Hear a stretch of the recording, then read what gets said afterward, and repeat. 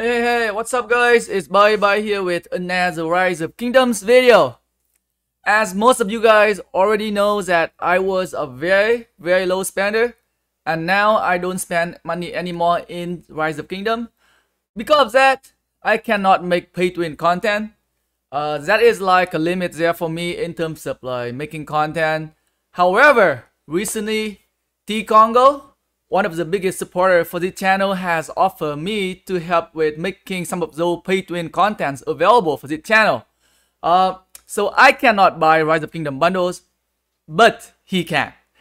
So from now on, we will be abusing him to make content for us.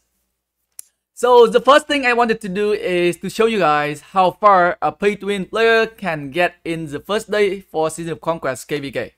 So let's see how big of a gap between pay-to-win and free-to-play player. Is this the last last one? Uh, woo, just enough. I think this is the last one. Max 3 here. Uh, that is very good. Right, max 3 Okay, let, us see what we got. Let's see what we got. So max first one. So I bought everything: pop up, supply, and the first Conqueror's Will. This is the the maximum amount of crystal you can get.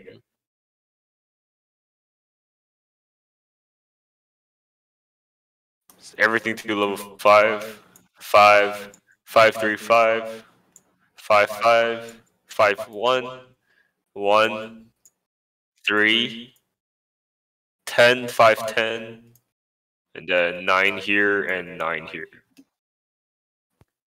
Um, can you go to the list of the mail you save from all the bundle you buy? Just go to them like slowly to see the amount of crystal that you get.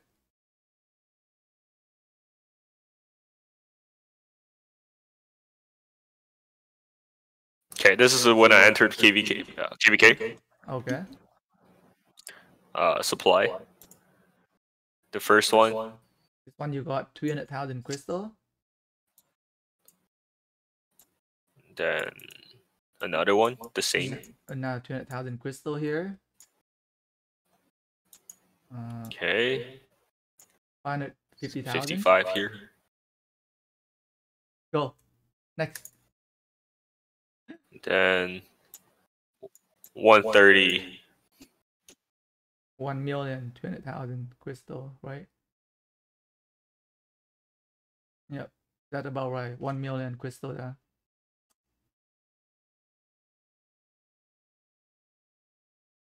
And this is uh 40 times 50. 2 millions. Damn. A lot of gem as well. 3,400 gems. Yeah, definitely Rich. some decent amount of gems. And Enough- some resources, I guess. Yeah, you know, some VIP points right there for you to catch up to that VIP 18. and then another 55. That's nice. It's like a small bundle. You can you can tell by the by, by the amount of VIP points you get how small that Yeah, is. this one is a big one. 55 times 50. Uh, two million five twenty-five thousand crystal. That's good. Very good amount there.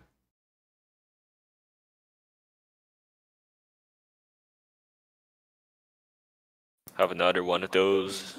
Hundred fifty thousand. Yeah, here's the Conqueror's wheel that I was talking about. Don't buy this, people. Don't buy this.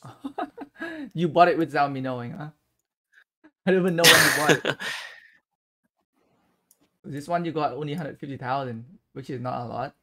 I think this one is $6, yeah. right? And then second tier. Uh, 250,000. Not a lot either. Is that, is, is that like one small? And then the final tier. tier. 350,000. So like three bundle for about a million crystal there. Yeah, yeah. not very worth it. Yeah. The pop the pop bundle definitely get a lot more crystal for sure. Next. And you have four more pop-ups. So at one, that's... Oh, this one gives a lot too. Yeah, 1.3 million. Damn.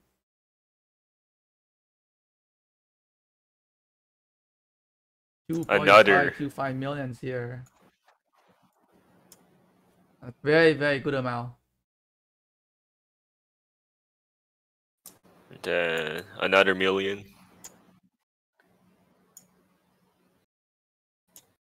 And the last, that's the last bundle. 150,000. Nice.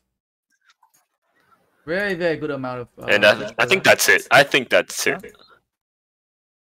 That's good. Good to know, right? Very, very informative. Right, we'll definitely know how far like uh, a big spender can get after the first day, right? Uh, to be able to get max both buildings and get a very, very high research there. Very good, right? You definitely get like a huge, huge advantages there when it comes to the next zone, uh, the open field firing. So uh, we have a high, high. But, but if you think about it, most of those are like um, PV, economic, right? yeah, economic PV. check, right?